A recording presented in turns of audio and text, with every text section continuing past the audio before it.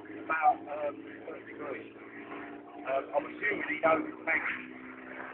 I don't know if you've got anyone on the radio.